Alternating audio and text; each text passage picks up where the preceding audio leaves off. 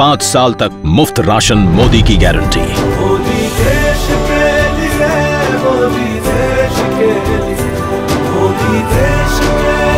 फिर एक बार मोदी सरकार कमल का बटन दबाएं भाजपा को जिताएं